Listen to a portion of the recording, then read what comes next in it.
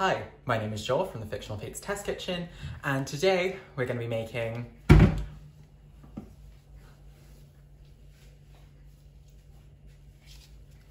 Hi, my name is uh-huh.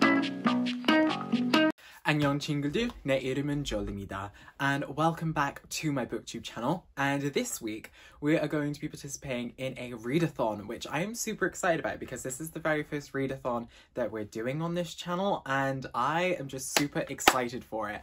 So, the readathon in question, if you haven't guessed by the video title or the introduction, is Koreadathon, hosted by Monica Kim and Books with Chloe, in which we celebrate books written by Korean authors and just celebrate everything that the Korean culture has to offer. So, a little bit of background I watched Korean dramas and have listened to K pop since around about 2013, 2014, um, when I was first introduced to it. And ever since then, I've literally just fell in love with it, and it's amazing. And the storylines are riveting, and K pop has honestly changed my entire like life from like the fashion to the aesthetic to um, just how great the songs are. And I like K-pop is a whole separate other video I can do, which I probably will do. Um, but for now, I am really excited to be sharing um, some Korean books with you. Monica and Chloe have put together a few prompts for everyone um, to do during Koreadathon, and Koreadathon actually started yesterday. Um, today is now Tuesday. I'm gonna get into my picks for this Koreadathon, and then we can go ahead and get started. So, the first um, book for Koreadathon was the uh, group book that everyone would have to read, and that is The Silence of Bones by June Hur. I already was going to read this this month anyway, which was partially what convinced me to start Koreadathon because I was like, it gives me an excuse to read Silence of Bones as well. And I've talked about this on my channel quite a bit in like the last two, my last two videos. The Silence of Bones is a historical Korean fiction um, detective story and I am just super excited to be getting into this. I just think it's going to be really awesome and um, from a lot of historical Korean dramas I've watched, like Arang and the Magistrate, The Secret of the Witch, and The Moon Embracing the Sun. Oh my god, The Moon Embracing the Sun. I just think it's going to be really exciting to get into this and just read a historical Korean drama in literature. The next prompt was to pick a book translated from the Korean language, and I chose Kim Ji-young, born 1982, by Cho Nam-ju. And by the cover, I was like really intrigued because I saw a, a yellow version, but in Waterstones, um, when I went there today, there was a blue version of the cover, and I was just, I was like, yes, give it to me, give it to me, give it to me.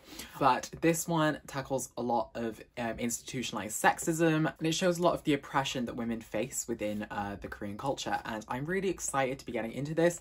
It is quite a short read. I think it's like only a hundred and like 70 pages, like 160, 70 pages. So I think I'll get through this fairly quickly and I'm just really excited to be getting into it. The next prompt was to read a book with a Korean uh, character or Korean face on the cover. And with that, I chose Wicked Fox by Kat Cho.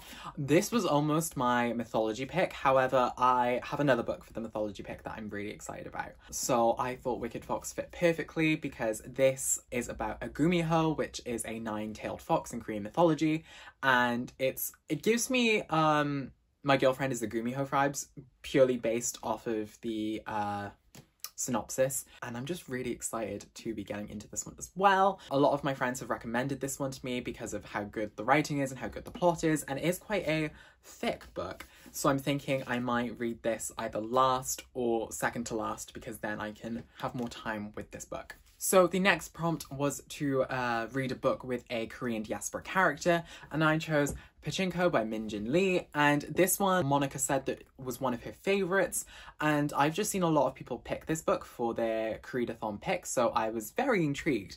And once I read the synopsis and it showed a lot about the relationship between Korea and Japan, I became very intrigued in this, and I am excited to read this one as well. Like The Wicked Fox, it is quite a thick book. I think this one is about 400-ish pages, so again, I think this is going to be one I read near the end of the readathon so that I can like get through through the other books first. And last, but certainly not least, the last prompt said to read a book from Korean mythology, and so I picked Dragon Pearl by Yoon Ha Lee, part of the Rick Riordan Presents imprint. And I'm just super excited to be getting into Dragon Pearl because it's going to be my first book that I'm going to be reading from the Rick Riordan Presents imprint, and I am just like And especially from the synopsis as well, I'm just super excited to be getting into it and just seeing what the story has for me. And this book is quite a nice size as well, so I definitely think I'll be able to get through it within a day. I'm also buddy reading this with RC or Neku the Book Lock, which I'm really excited about because we both have like quite similar reading tastes. And so I think if we both enjoyed this book, it'll be a really nice buddy reading experience because he's also doing a Readathon. And yeah, I just think it's going to be quite a nice time. So yeah, I am just super excited to be getting into this and there's also two in real life challenges as well. The first challenge is to make a Korean dish and so I'm opting to make kimchi. Uh, I'm just like really excited to like ferment something because Brad from Bon Appetit loves his fermentation and it's, it's a live series and I'm just super excited to be finally delving into some fermentation and like getting to make some kimchi. And then the other prompt is to watch a Korean drama or film and with the final prompt, I know Kim Ji Young is a film as well, alongside watching the Korean dramas that I need to watch this week, which is It's Okay to Not Be Okay. But yes, this is like my very first like readathon reading vlog that I'm doing with you all. So I'm really excited and I think it'll be really nice for all of us to like spend some more quality time together because you know there's a lot of us now and i think we i need to become a little bit more personal with you and just like a little more bit more like sit down chat vlogging style. So yeah i hope you enjoy and yeah i am super excited and i cannot wait to interact with everyone else who's doing Readathon um over on twitter and i get to talk about korean dramas because it's just oh it's gonna be great it's gonna be great so yes, I think my plan for tonight, um, for like Tuesday night, is to start Kim Ji Young, maybe finish Kim Ji Young, and also uh, catch up on It's Okay to Not Be Okay because I need to watch the two episodes that were put up on Saturday and Sunday. So I think my reading list for Readathon is as follows. Kim Ji Young, then The Silence of Bones, then Dragon Pearl, then Wicked Fox, and then I think I will end everything off with Pachinko. And I also have a few in real life things to do this week, such as painting my room. I'm also ordering my laptop at some point this week, so I think this vlog will be part lifestyle, part readathon, which I think will be really cool. But yeah, I'm just super excited to start my first reading vlog. But yeah, let's get started.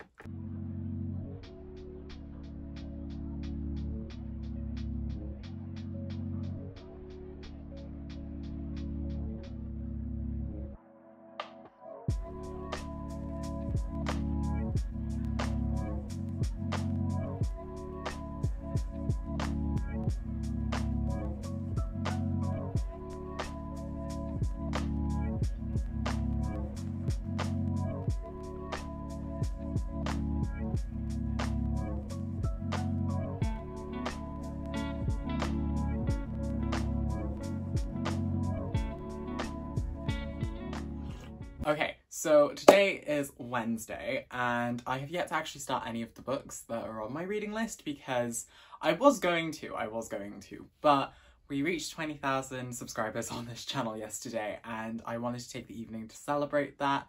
And um yeah, I just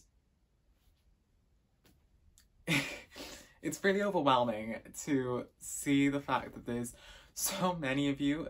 Again, I don't even have that many videos out at the moment, but I just, oh god, I'm crying. It just means a lot and I just wanted to say thank you all um, again. So this morning I woke up at around about like 10 a.m. Uh, I did sleep in for a bit because I did stay up until about 2 o'clock last night. I had a few errands to run this morning. I went to the supermarket where I got a few things for my kimchi that I'm going to be making later on. However, I wasn't able to get a few of the ingredients, but fortunately my sister's going to be driving me to Tesco's later on to grab the rest of them. So hopefully, fingers crossed they have them. Otherwise, I'm not going to be able to make it. I also had to go pick up my antidepressants because I ran out a, a, few days ago and I wasn't able to get a repeat prescription until now, but I have my antidepressants, so everything is fine. Also, also, I want to introduce you to someone. I am now the proud, well, I'm now a plant dad. So this is my first baby. I don't know who they are yet. I don't know their name. Uh, this is also a temporary pot for them because I didn't have a pot to put them in for the moment except for this. But I'm going to be getting a pot for it soon so that I can repot it. Do you want to help me name my plant? Pop some suggestions in the comment section down below on what you think I should name this little palm plant. And yeah, we can we can name it together. I do want to get a lot more plants though because oh my god, Aiden Thomas, who um, is the author of Cemetery Boys that's coming out in September I believe, he owns so many plants. I'm eternally jealous of all the plants that he owns and so I aspire to be as big of a plant daddy as he is.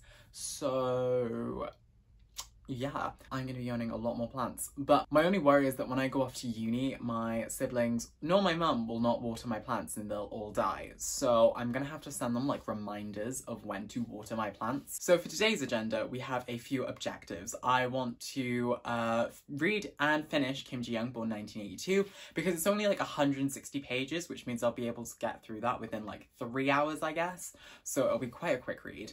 And then I also want to catch up on It's Okay to Not Be Okay because I've yet to watch episodes 5 and 6.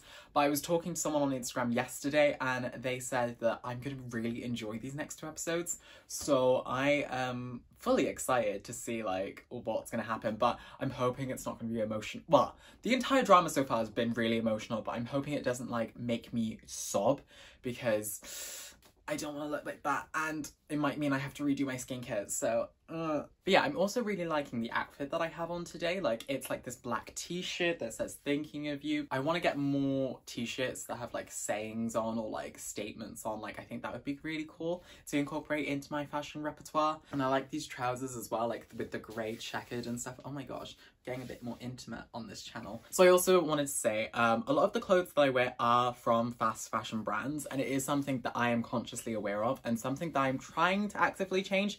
However, there's also that discussion of being financially able to and of course, for the moment, I am a student, and so basically fast fashion brands are the only way I'm able to sustainably add to my wardrobe. However, I also buy a lot of clothes secondhand from charity shops and Depop as well, so I am trying to actively improve um, the amount of fast fashion that I do buy and slowly trying to migrate towards sustainable clothing. So yeah, I think I'm just gonna settle in now and start Kim Ji Young 1982. I am just really excited to see like um, what the story contains. So yeah, this is, how many pages is this? Oh, it's 163 pages. And when I did reading sprints with the Unfriendly Black Hotties, I was able to read like 30 pages in 15 minutes, which means by my calculations, that's about 120 pages an hour, which then means I should be done with this book in about an hour and a half, by my calculations anyway.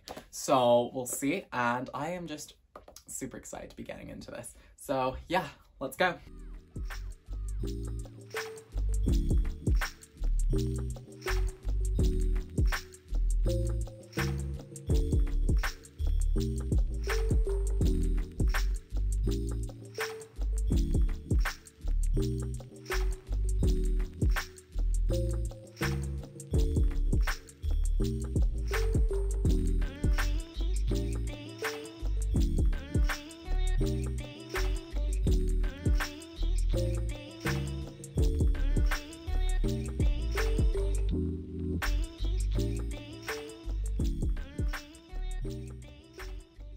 So it is currently 10 to 5 and I'm about, I'm on page 6, why am I always on page 69 of things? Like, I'm about halfway through now. I'm really impressed by Cho Nam-ju's writing. Like, the, her writing style is just really riveting and really easy to like get into and really easy to flow as well. And I've been listening to the audiobook on Audible along with reading it and it's just been, it's just made it a more pleasant reading experience for me. The novel so far has um, covered Kim Ji Young's um, relationship with her husband and then her upbringing.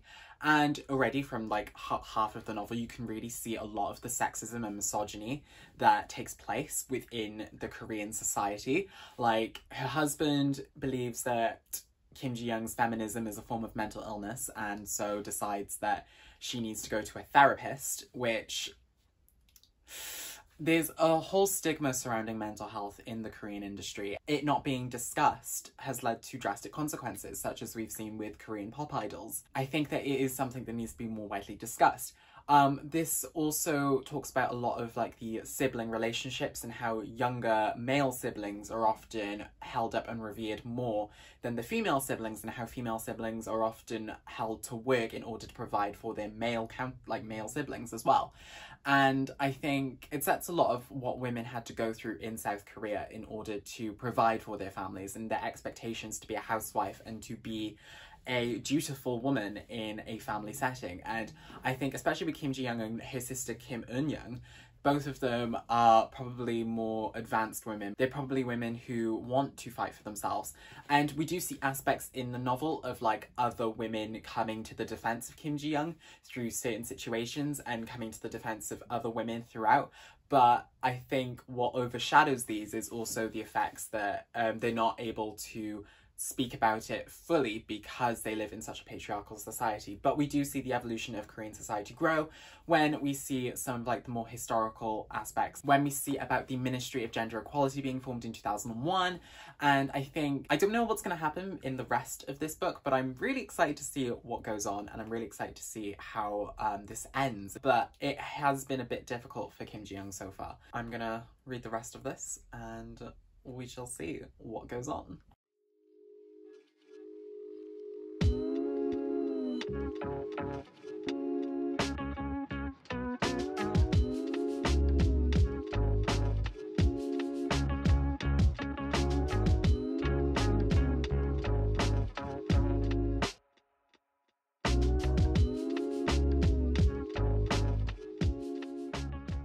So I just got back from going out with my older sister to grab the last ingredients for the kimchi. However, we ended up going to three separate supermarkets because they didn't carry the Napa cabbage slash Chinese leaf that I needed for the kimchi. But our last supermarket, Morrison's, had it. So, um, yeah, I've almost got everything for the kimchi. Hopefully tomorrow then we'll have our like cooking with Joel uh thing so that we can make the kimchi and hopefully do a taste test on like Sunday. So it should be quite good. Um, but for now, the plan of action for tonight now is to finish Kim Ji Young born 1982.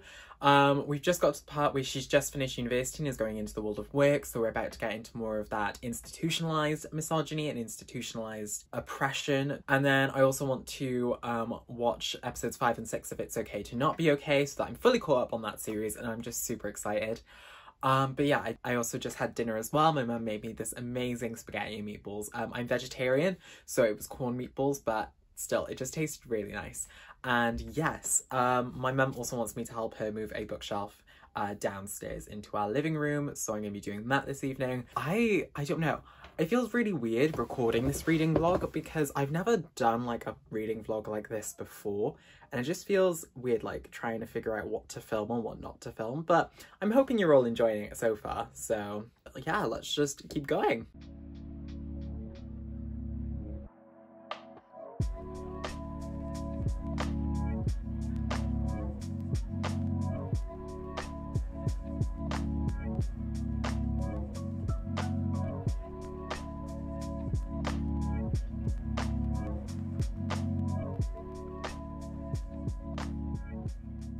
Hi, so it is quarter past one and I am falling behind. Um, I fell asleep during my Korean drama yesterday, so I rewatched uh, episode 5 of It's Okay to Not Be Okay. Still have episode 6 to watch, but I can watch that later on. Um, but I've got like an hour left on the audiobook of um, Kim Ji Young, born 1982. So with times two speed, I've got about half an hour left. So it should, should be going smoothly today. Today, I have a few things also on the agenda. I have to order my MacBook because finally, um, we have the back to school deal on there, which is amazing. Um, we also have the last parts of my kimchi um, items coming today. Um, so then we can finally make the kimchi tonight and taste test it on Sunday. So it should be very good. And I'm like very hype for like finally making kimchi and stuff. Also, this is my first time using the, the front facing camera on my phone. So we, do we love it? I think I like it. I think I like it. And I also want to treat myself tonight to a um, bath with a bath bomb because I need to pamper myself and I have this royalty um, bath bomb and it's got a it's like a crown and it looks amazing and I just think it'll look really nice as well and just relax in that. Um, behind me, as you can see, is the paint swatches that everyone um, was voting for on Twitter. Um, everyone voted for the bottom one, however I am now going for this one I'm sorry to everyone who wanted me to go for the bottom one, but I preferred the top one. So I chose the wrong week to decide to like paint my room, considering the fact I'm doing this reading vlog and everything. But, but I think it'll look great. I think it'll look nice. So yeah, let's get through today.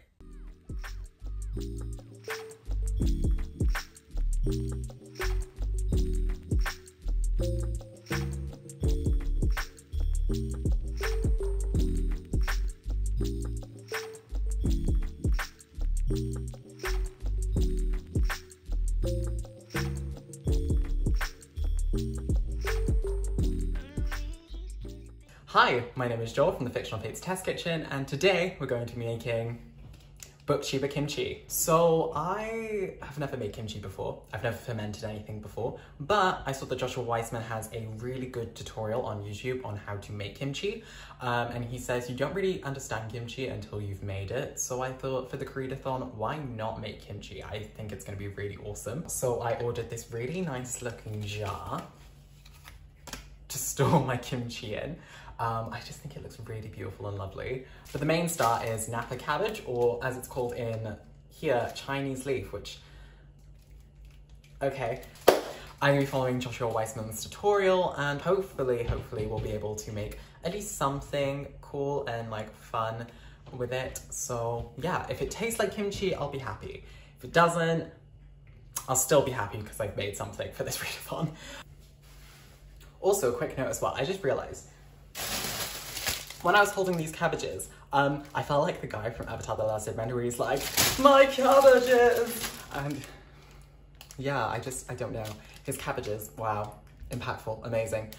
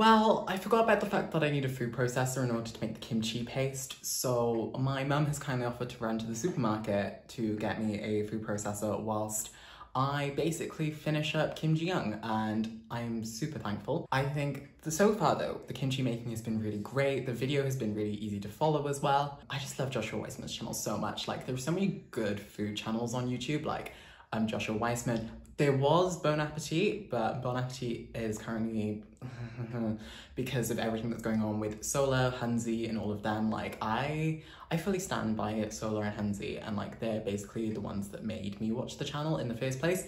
And I know Brad does have a kimchi video, but I was like, I'm, I'm not gonna give them uh, more views. Food is one of those things that I think is um, all encompassing and it's a way of showing love to people and a way of showing how much you care for people, but it's also a way of expression and creativity. And I think that food, especially when homemade, becomes so much more and you truly begin to appreciate the time and effort that people have taken in order to make these recipes and make these dishes that families sit down and enjoy. And I think especially with this readathon, like specifically with Korean culture as well. There's a whole new appreciation that I have for all of these families that would take time to make kimchi together. And like, I see it a lot in Korean dramas as well, where um, the mothers or the grandmothers mostly, sometimes the fathers too, would like bring um, kimchi side dishes to their younger children or to their relatives. And although they do moan and bicker, I think it is a way of showing love I think it's a way of communicating that love towards their relatives and saying like, I love you and I've made this, I put my blood, sweat and tears into this for you. And I think it's just so beautiful. And yeah, food is amazing. We love food, we stand food in this household. But yeah, I'm gonna be waiting for that food processor. I'm gonna finish Kim Ji Young and then I will probably get back to you once I finish it. So yeah,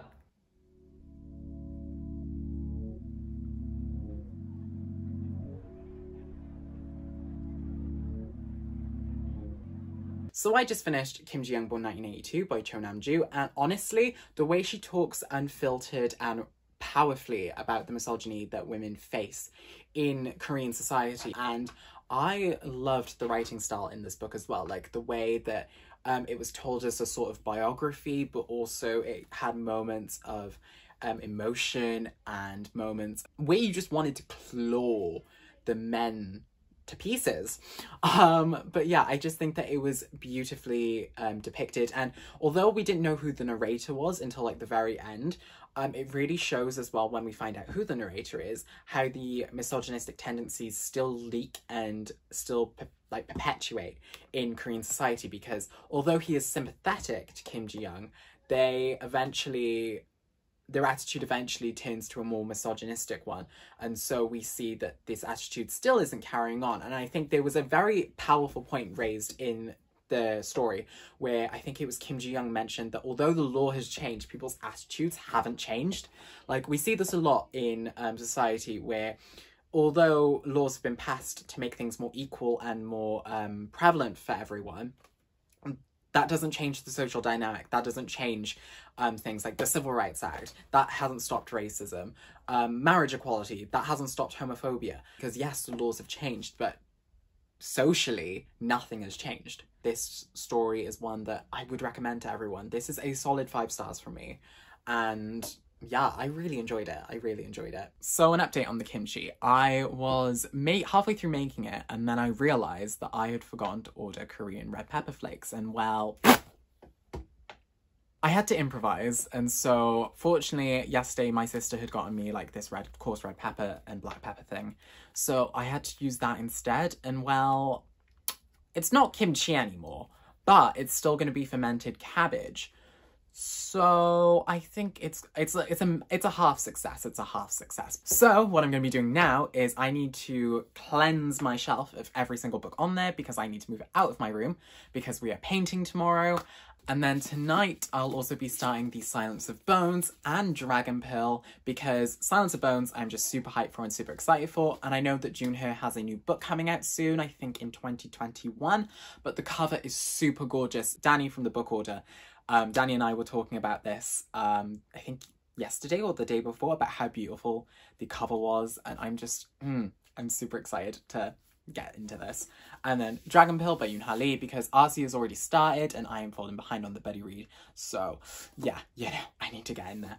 I also have a few emails to respond to tonight because I had some very exciting um, things in today and I'm just super excited for like the future content that's coming to this channel. So hopefully You'll all like it too. Also, can I quickly mention, actually, Irene and Seulgi's comeback. Irene and Seulgi's comeback. Like, Monster is just such a good song. The entire mini album, like, no skips. There are no skips whatsoever. And I'm just... My lesbian queens are thriving, and I am super happy about that. But yeah, I guess that's it for this update, and so let's continue on.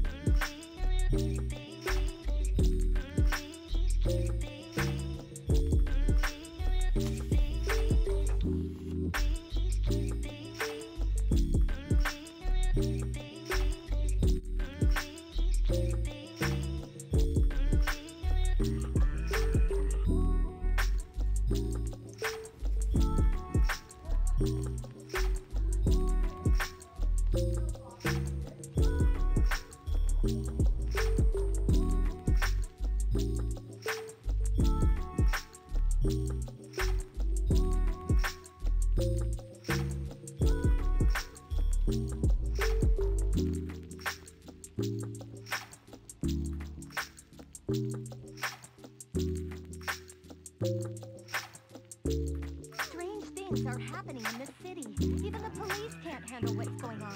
A dangerous enemy has appeared. You're the only one who can defeat this enemy. You're the guardian that's been chosen.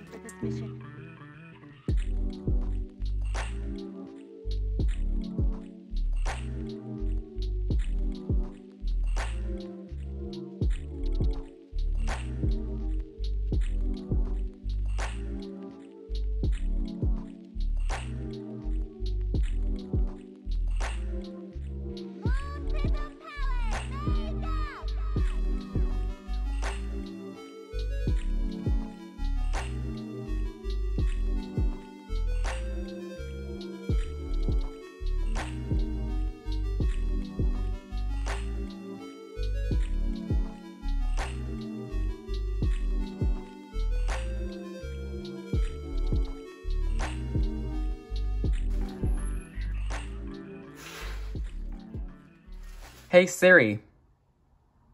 Good afternoon friends. The time is currently almost 10 to 4 and basically I've spent the entire day um, setting up my new MacBook Pro and just going through and learning the new ecosystem and just getting used to like the controls because I used to be on a Windows laptop, so moving to a Mac just feels very strange to me. I think I'm going to do a little bit more work now, and then afterwards I'm going to read a bit more of Dragon Pearl because RC has like gone way ahead of me in our buddy read, so I need to catch up. And then I think this evening I'm going to be reading The Silence of Bones because I also need to finish that book because yesterday I thought it was the last day of Koreadathon and I don't know why I thought it was the last day of Koreadathon because I knew it was until the 12th and it was literally the 10th. So I now know well, I have two extra days. But I also wanted to take the time to thank everyone for their support, um, for helping me get this MacBook, and honestly, I wouldn't have been able to do it without you. So thank you to every single person that donated through my Ko-fi link, and I just appreciate all of you. And now that I have this, my productivity system um, is going to be much better. Like, I am a huge fan of productivity and organisation.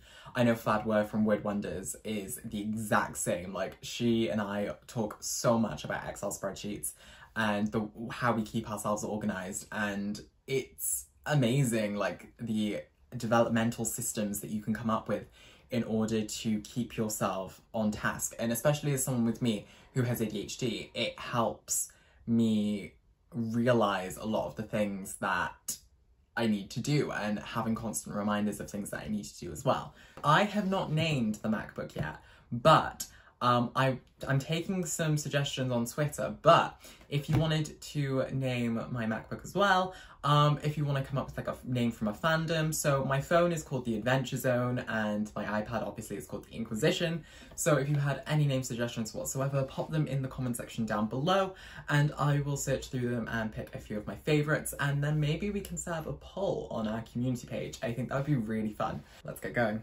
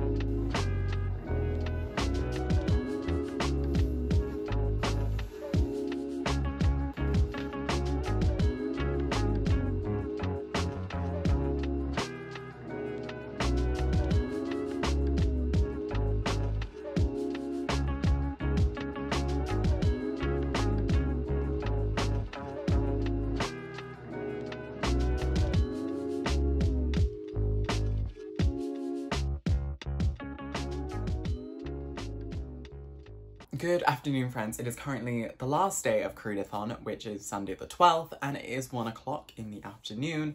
This morning, I basically just woke up and went straight to sprinting with the Unfriendly Black Hotties because they were doing some reading sprints, and I really needed to get through some of the Dragon Pearl, and I am now on chapter 30, and I'm just amazed by this book so much. Like, the seamless integration of sci-fi and fantasy, like, it's so beautiful, and I just love Min and um, what they go through throughout the entire book and really the magic system of Fox magic. Like it's so intricate, yet it leaves a lot to the imagination as well because obviously this is a middle grade. It can't be an overly complicated magic system, but I think it just serves really well in this book and the world building is just phenomenal and I I just adore it. I adore this so much and I just love um, how easily Yoon Ha Lee was able to integrate a non-binary character as well. Just the simple mention of the gender neutral, because basically one of the characters has a name badge and it says to address them as gender neutral. Like that is just sim really simple.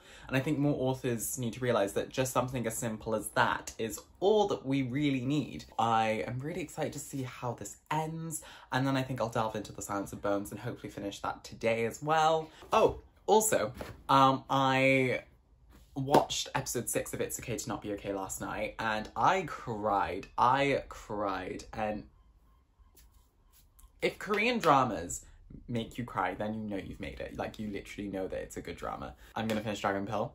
I'm gonna get into Silence of Bones and we'll check in in a bit.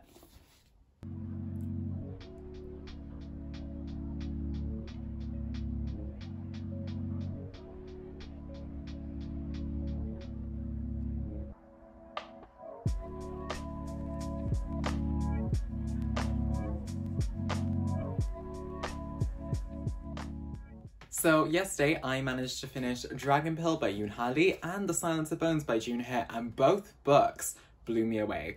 Like, I am just such a massive fan of fantasy and historical fiction and these books did not disappoint. Like Yoon Dragon Pearl was just phenomenal in terms of the writing and the plot and the characters were just so well developed and I ended up really liking this book. The ending was just such an emotional one. I actually cried after finishing this because I I just it was just so amazing and oh god I'm gonna cry again.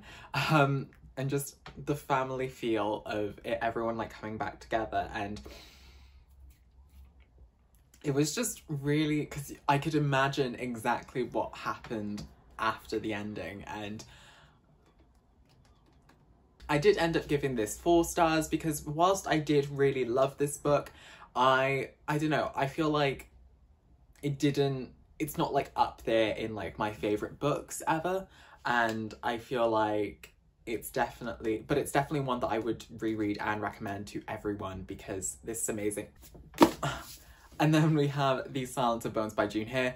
This book surprised me in so many ways, like the character development and the plot and the way it twisted and turned in this mystery. And I was truly feeling like I was witnessing a Korean drama whilst reading this book. And again, this was just another one that really hit me really hard and I I just oh June Hur's writing style as well it's just phenomenally amazing and I loved the way that June would describe things and just taste, tasteful writing and I would definitely recommend this to everyone. I am just, I really want to read June Hur's um, Forest of Stolen Girls now.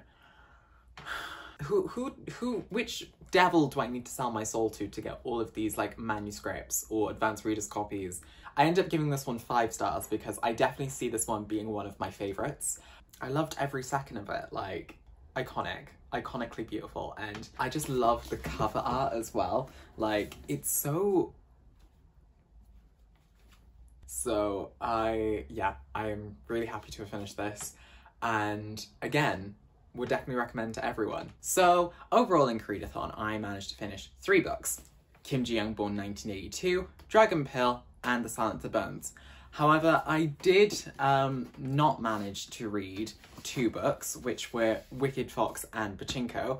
I definitely do want to read those two books at some point because they did interest me. But this readathon definitely has a big message to it, which is to support Korean authors and even wider than that, support Asian authors and support their stories. I can definitely see this readathon becoming a yearly thing, hopefully, hopefully.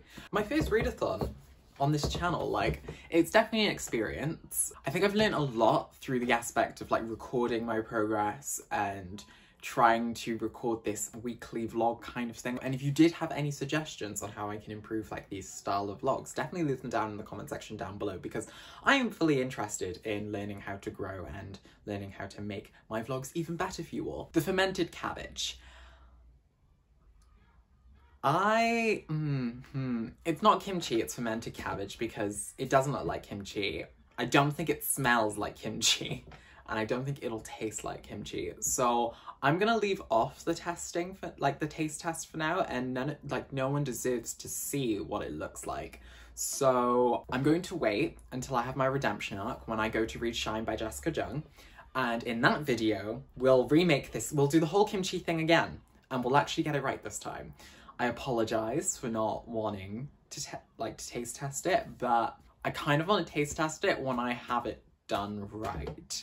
So, I mean, if you all want me to taste test it, just tag me on Twitter and maybe I'll make a little Twitter video of it, but I just don't think you'll deserve to see that on this channel.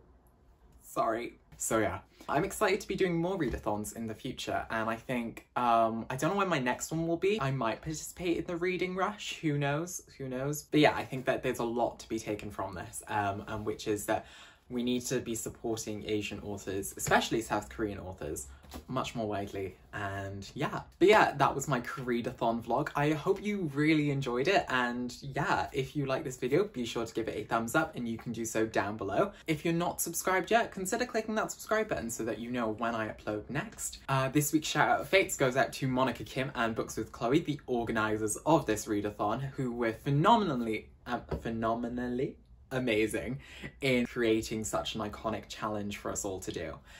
I mean, also, we changed walls during this readathon, like, wow, that's amazing. But yeah, I guess until the next video. Bye, friends.